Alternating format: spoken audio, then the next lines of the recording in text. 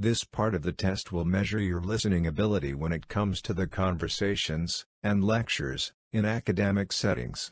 You will listen to a recording and then answer questions about it.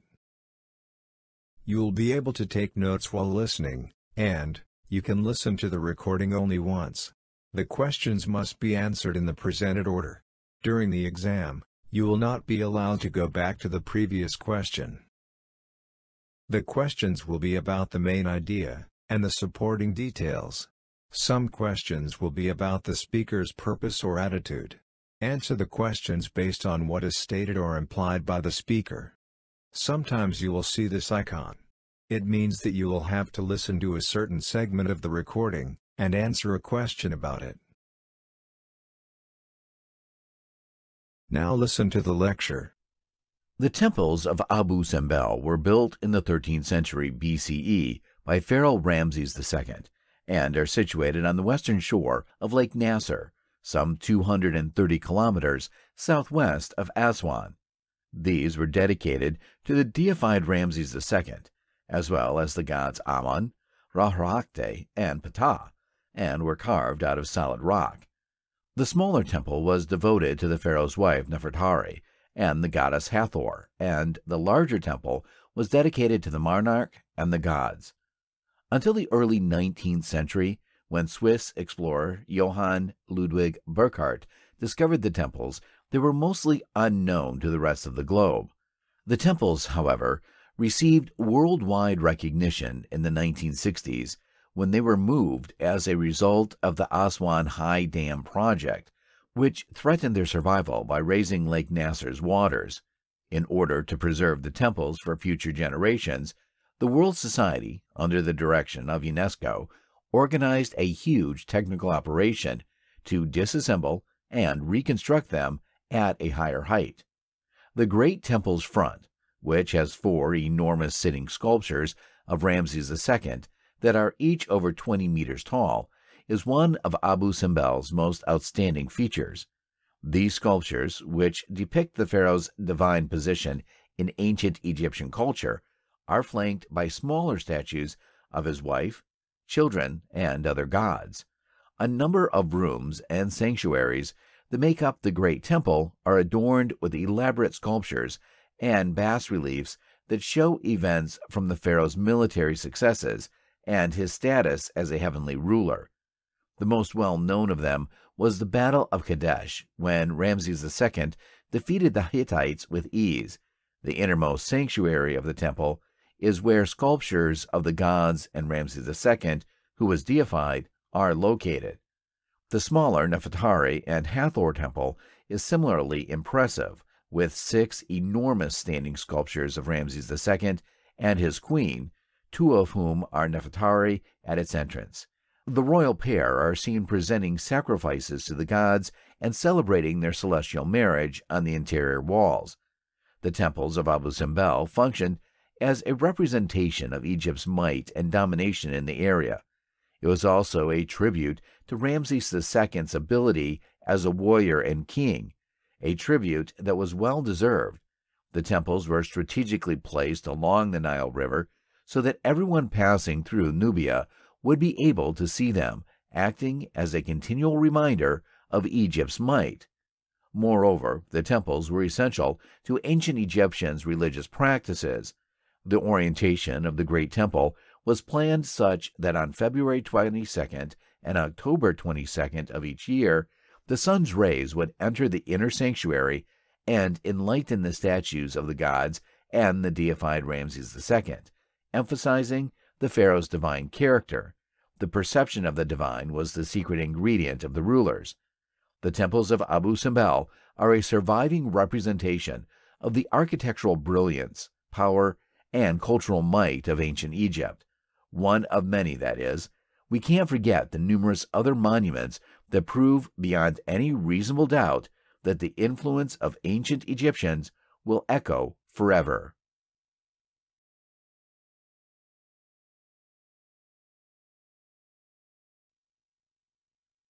What is the primary purpose of the temples?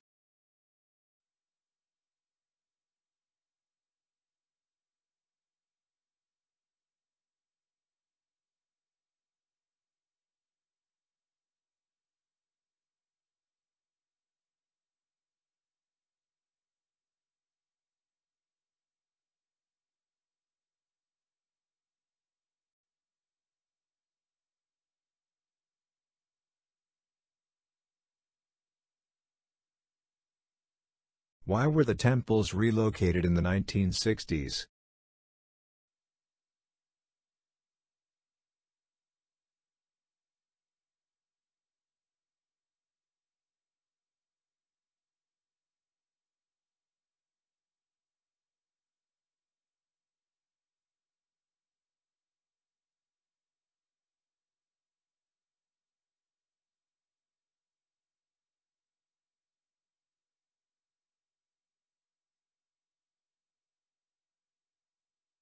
What can be inferred, when the professor says, tribute that was well deserved?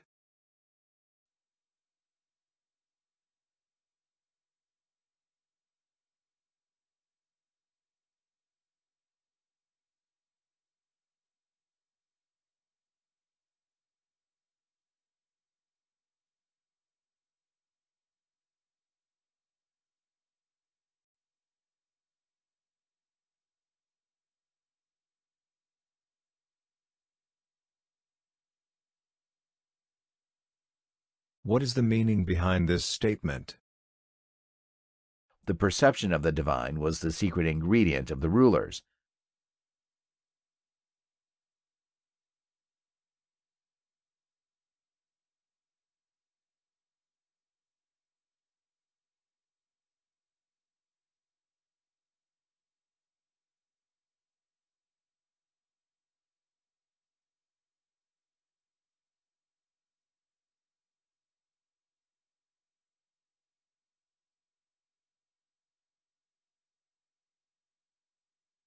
What is the significance of the dates, February 22nd and October 22nd, at the temples?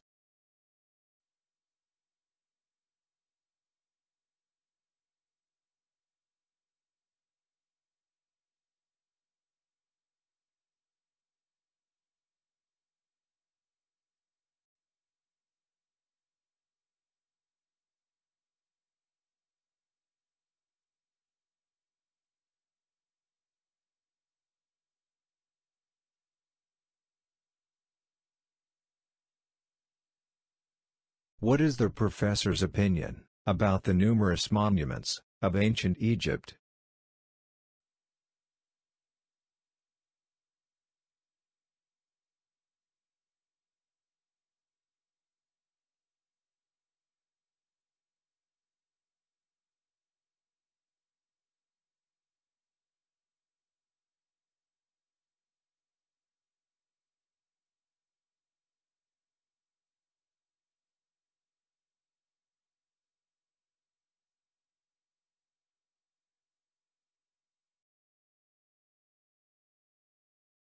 Now listen to the conversation between two people.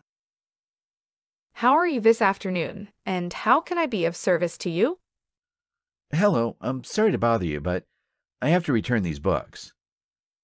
Okay, it seems that you are returning two out of three of the books that were checked out to you. Could you tell me where the third book is located? Yeah, I'm sorry about that. I must have left it at home. As soon as I locate it, I'll give it back to you. Since you did not return all of the books, there will be a charge placed on your account. That is how our policy works. Is there any way you could get me off the hook this time? That was nothing more than an oversight. I am aware that it was done inadvertently, but I am sorry to say that I am unable to dismiss the fine. We are required to act in accordance with a predetermined set of guidelines. I'd want to avoid having to pay the fine if there's any other way possible. Regrettably, no. The violation must be corrected. But if you return the book within a reasonable amount of time, the fee will be lowered to an acceptable level. Well, I understand, and I'll be sure to give it back as soon as I can. Great! The amount of the fee will continue to rise if you continue to postpone the return. In addition, please do not hesitate to contact us if you have any questions about the policies that we have in place.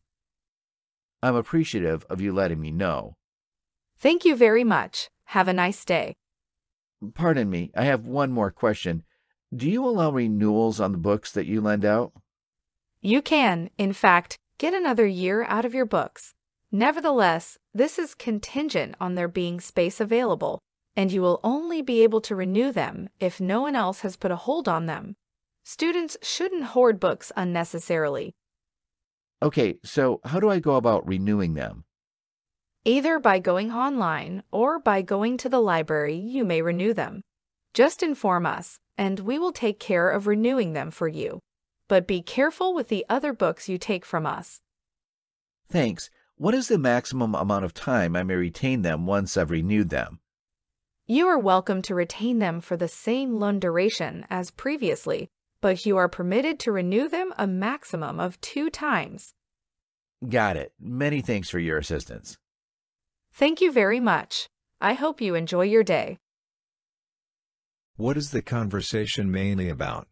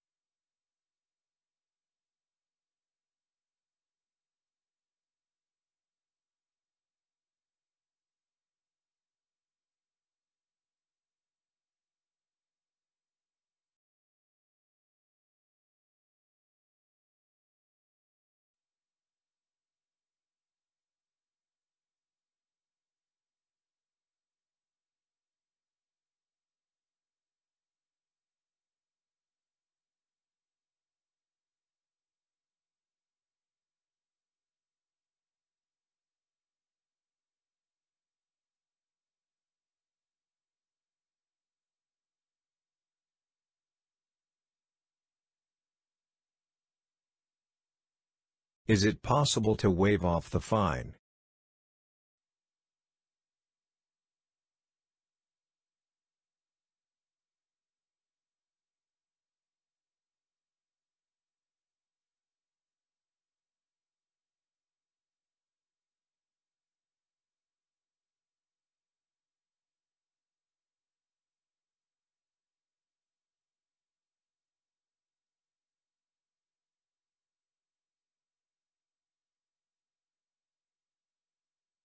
Why does the librarian say? Students shouldn't hoard books unnecessarily.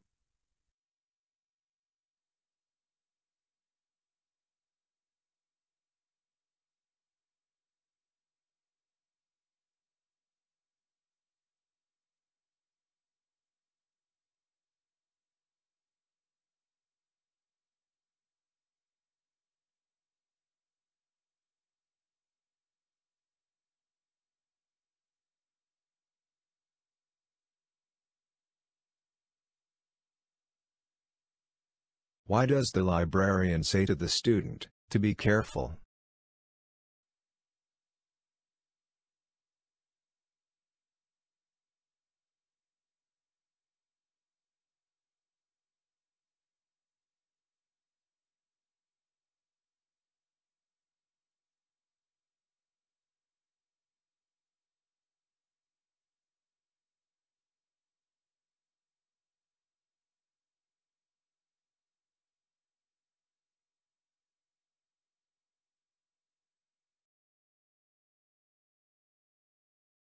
Now listen to the lecture.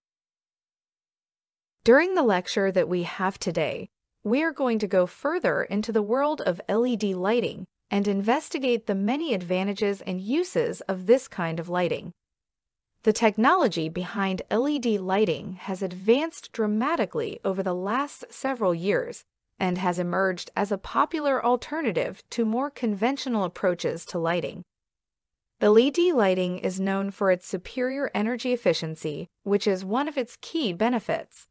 LEDs are a more cost effective and environmentally friendly alternative to traditional lighting systems because of their superior energy efficiency. For instance, an incandescent bulb that uses 60 watts of power may be swapped out with an LED bulb that uses just 10 watts of power but still emits the same amount of light. This switch results in a significant reduction in energy use. The longevity of LED lighting is another important advantage of this kind of lighting, completely game changing. LED lights have a lifespan of up to 50,000 hours, making them far more durable than conventional light bulbs. Because of this, LED lights need to be replaced less often, which results in less trash being produced and fewer expenses associated with maintenance. Moreover, LED lights have a great degree of versatility and may be used in a broad variety of contexts and settings. Since they come in a wide range of hues and intensities, they are well suited for use as lighting for ornamental purposes, or for the purpose of producing a particular atmosphere. Since they are very directed and may be aimed to emphasize certain regions or objects, LED lights are becoming an increasingly popular option for accent lighting applications. Horticulture is one of the most niche uses for LED lighting which is also employed in other specialized areas. LEDs are increasingly being used in the field of horticulture as a means of producing light at a range of wavelengths that are beneficial to the growth and development of plants. The use of LED lights in the field of horticulture has been shown to be very successful due to the fact that these lights consume very little energy and provide the ideal lighting conditions for the development of plants. Artificial light simulates reality. LED lighting is being more widely used in automobiles, which has contributed to its rise in popularity. The LED lights are used in a variety of applications, including headlights, taillights, and others. LEDs are extremely directed, which is a trait that is very necessary for headlights. Moreover, LEDs waste less energy than conventional lighting techniques, which makes them perfect for use in electric cars. LED lights are also employed for the illumination of streets and sidewalks. Conventional streetlights need a substantial amount of energy to operate and are a potential source of significant carbon emissions. LED street lights are more environmentally friendly and use less energy than traditional street lights. This helps lessen the overall effect that street lighting has on the environment. In addition, LED streetlights are very directional and can be pointed in any direction, which helps to reduce light pollution and improve visibility. Light pollution is a big issue since it hides the wonders of the night sky from us, wonders that we have a right to see. What is one of the primary advantages of LED lighting that was discussed in the lecture?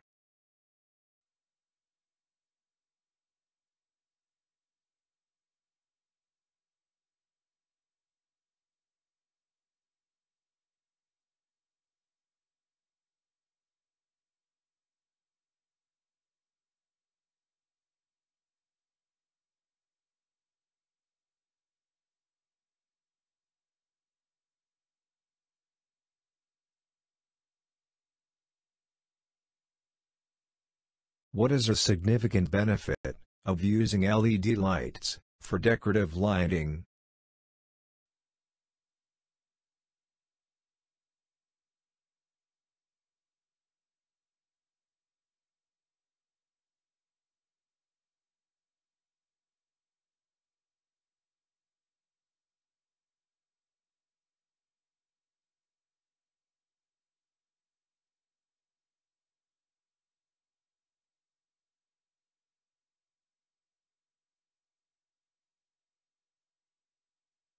What is a specialized application of LED lighting?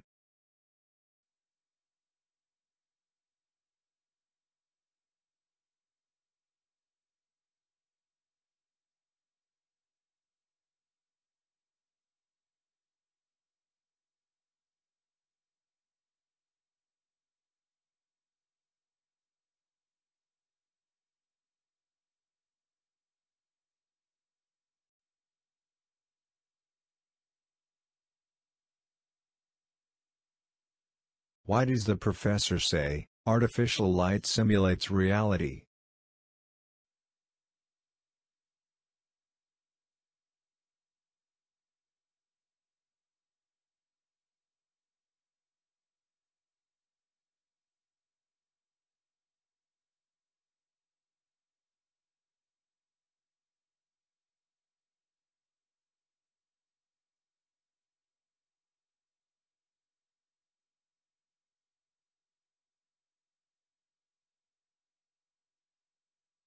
Why are LED lights ideal for electric vehicles?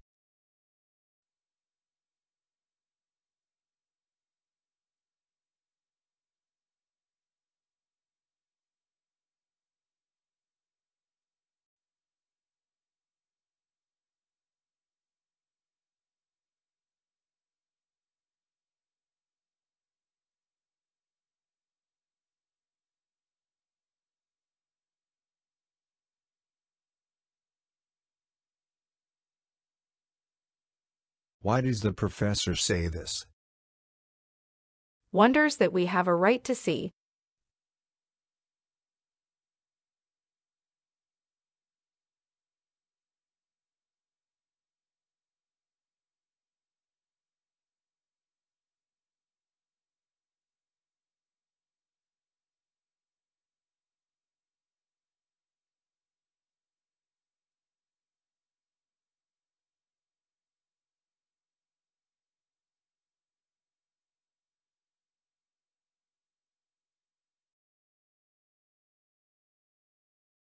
Now listen to the conversation between two people.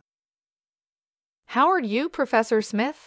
I was wondering if there was any way to get extra credit for this class. I'd like to improve my overall grade.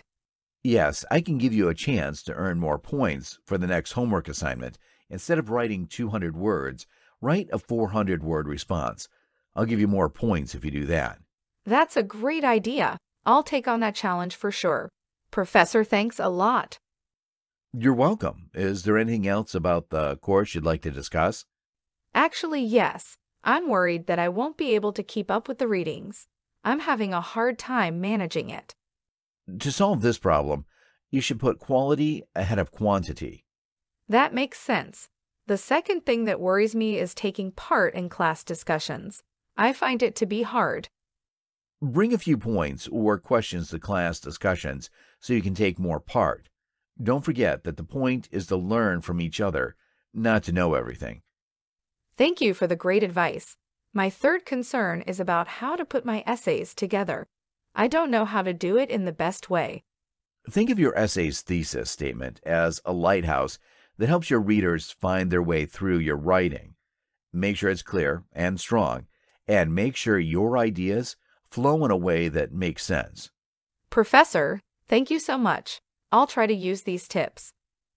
I'm sure that if you work hard and practice, you'll get better at these things. Don't forget that I'm here to help you if you need advice or if you have more questions. Professor, I appreciate your help. I'll keep your advice in mind and reach out if I need any assistance. That's the way to do it. I look forward to seeing your progress throughout the semester. Good luck and feel free to stop by during my office hours if you ever need help.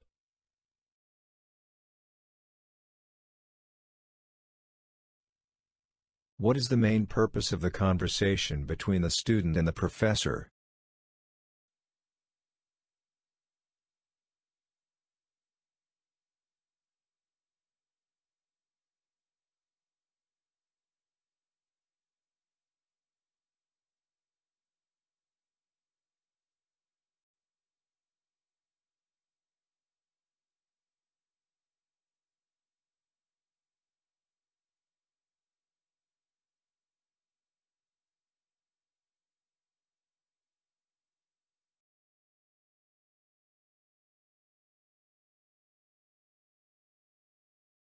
What does the professor offer the student, as an opportunity for extra credit?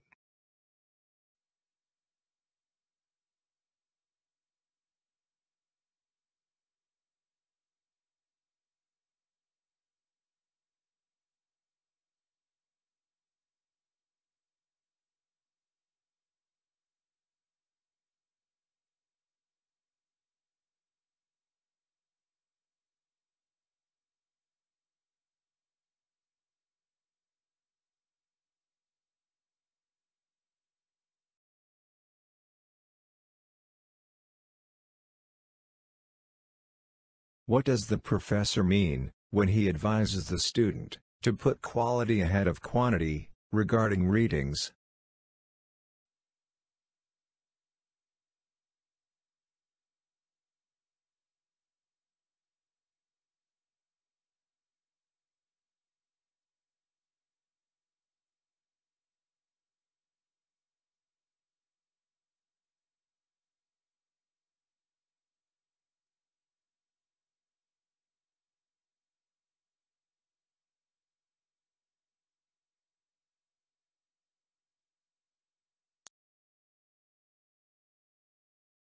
What advice does the professor give to help the student participate more in class discussions?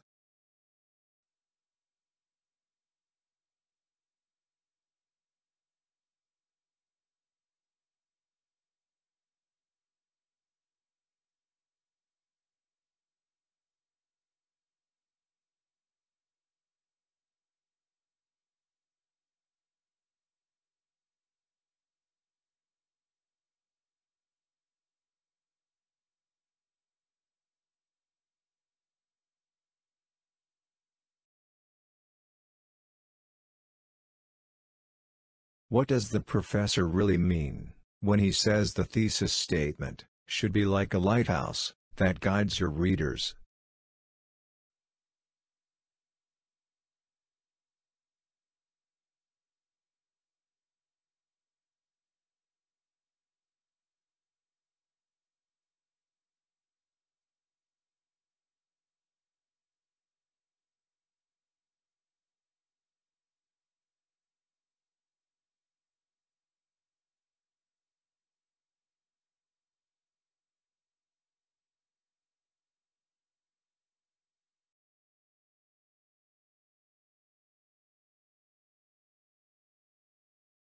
Now listen to the lecture. Today we'll go into the intriguing world of over 47 species of leafcutter ants, which are predominantly found in the tropical rainforests of Central and South America. These amazing beings live in a caste system restricted society that exhibits outstanding cooperation and labor sharing. They are distinguished from other ant species by their amazing capacity to grow fungal gardens, which is a feature that sets them apart from other ant species. We must first talk about the intricate societal structure of leafcutter ants in order to comprehend their significance. Leafcutter ants have a, caste system that is separated into workers, soldiers, and reproductive individuals just like many other ant species. Depending on their size, workers are further divided into many subcastes, each of which is in charge of carrying out certain tasks. They can be quite productive in their everyday tasks thanks to this arrangement, which also helps the colony as a whole. I'm particularly intrigued by the leaf cutter ant society's practice of fungus gardening, leaf cutter ants, as their name suggests, harvest leaves from plants and bring them back to their nests. Contrary to what many people think, they don't consume these leaves. Instead, they use the plant matter to feed a grown fungus that becomes their main source of nourishment. This symbiotic interaction is a prime example of mutualism in nature and has evolved over millions of years. It is interesting that this reciprocal connection is deeper still. The ants' bodies contain a particular bacterium that produces antibiotic chemicals that help ward against dangerous mold and germs. For the purpose of defending the ants' fungal gardens, chemical warfare is necessary. Several researchers have even compared the use of antibiotics by ants to current agricultural methods. Leafcutter ants are devoted protectors of their home range. Due to their size and strength, soldier ants are in charge of repelling any dangers. They have strong mandibles that can pierce flesh, which has attracted the attention of researchers who are interested in exploring the possibility of using them in surgical procedures. One cannot help but be in awe at the adaptability and dexterity of these organisms in varied contexts, despite the fact that it is not a common habit. Finally, let's think about how leafcutter ants affect the environment. They are occasionally viewed as pests because they defoliate plants, which can result in lower crop yields. Nonetheless, by assisting in the process of decomposition and recycling nutrients back into the soil, these ants perform a crucial part in preserving the equilibrium of their ecosystem. They may impair agriculture in some way, but their total benefit to the ecosystem outweighs any potential drawbacks. Finally, the leafcutter ants give us an enthralling glimpse into the complexity and inventiveness of insect life. These ants have complex social systems and inventive farming methods which teach us important lessons about collaboration, flexibility, and resiliency.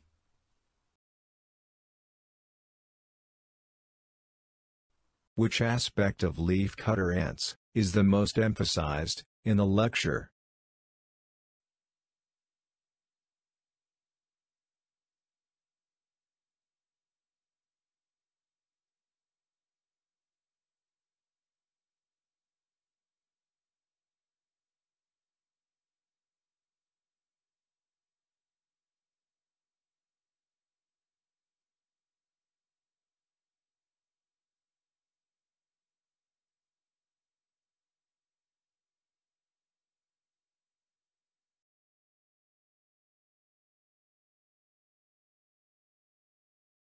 When the professor expresses admiration, what specific aspect of leaf cutter ants does he highlight?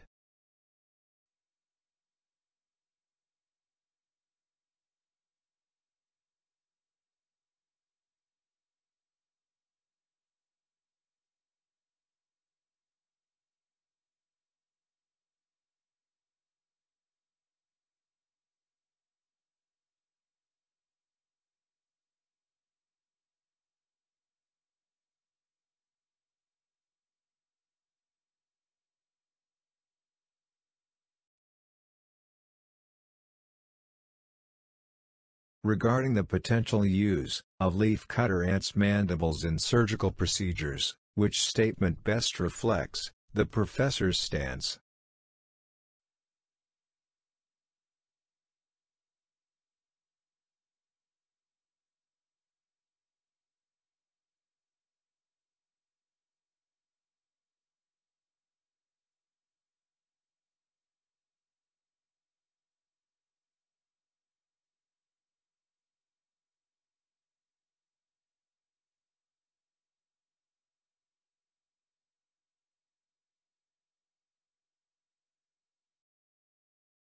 What does the professor imply about the pest status of leafcutter ants in the context of their ecological role?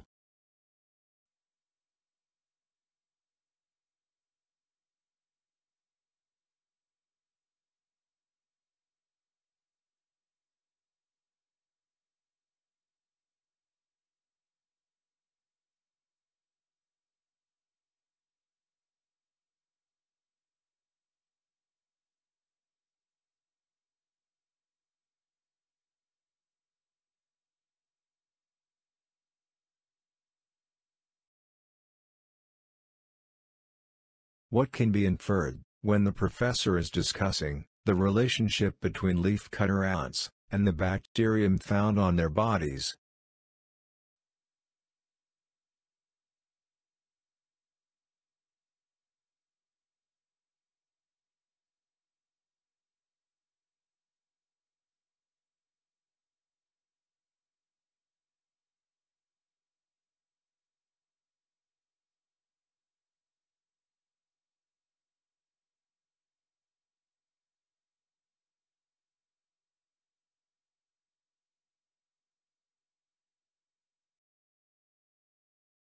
In the conclusion of the lecture, what does the professor primarily emphasize about leafcutter ants?